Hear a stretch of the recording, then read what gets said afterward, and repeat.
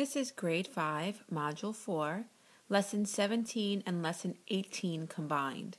These lessons have the same objective, which is to relate decimal and fraction multiplication. These lessons cover multiple standards.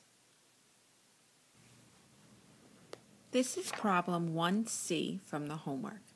Now in this lesson, you will learn that you can convert decimals into fractions to make this multiplication equation easier.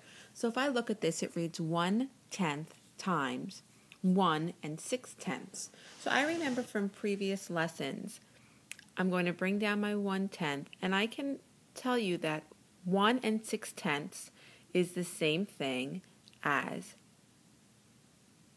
16 tenths. Now, if you're a little unsure how to do that, 1 and 6 tenths would be written like this as a fraction. So if I wanted to turn this into an improper fraction, I would multiply 1 times 10, which is 10, and then add my 6, and I get 16 tenths. Now, even though we have been cross simplifying in previous lessons, in this lesson, do not cross simplify. Just multiply across. I know that 1 times 16 equals 16, and 10 times 10 equals 100. 16 one hundredths or 16 hundredths would be written 0 and 16 hundredths. Now in lesson 18, we're still going to be multiplying numbers, but we're working with decimal times decimal. So 3 and 3 tenths times 8 tenths. Now, the first thing we need to do is rewrite these two decimals as a fraction. So we're going to look at it, and I know that 3 and 3 tenths is the same thing as 33 tenths. 0 and 8 tenths is the same as 8 tenths.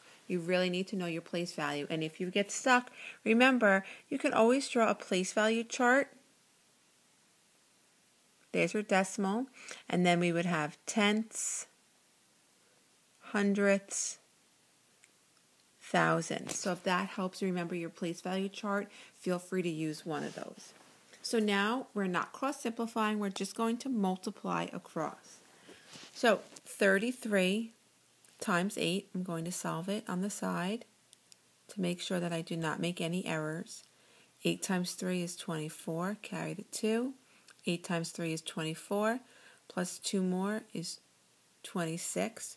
So I get 264. 10 times 10 is 100. Now I have to write 264 over 100. How am I going to do that? Now, if you remember from previous lessons, way back in Unit 1 when we worked on place value, whatever that place value, whatever it is, it's in the hundredths, the last number needs to be in that place. So I'm going to look at my place value chart. My last number is 4, so that means my 4 has to be in the hundredths. So my 6 is going to be here, and my 2 will be there. So I'm going to get 2 and 64 hundredths as an answer.